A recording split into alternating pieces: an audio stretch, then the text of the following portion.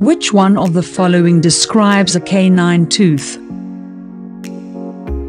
A chisel-shaped, with one root. B rough surface, with two roots. C rough surface, with three roots.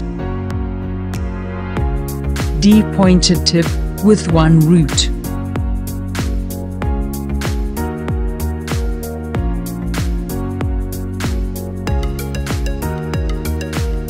D is correct.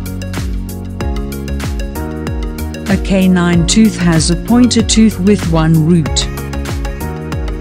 Canines are sharp for gripping and tearing foods. Identify the types of teeth labeled 1 to 4.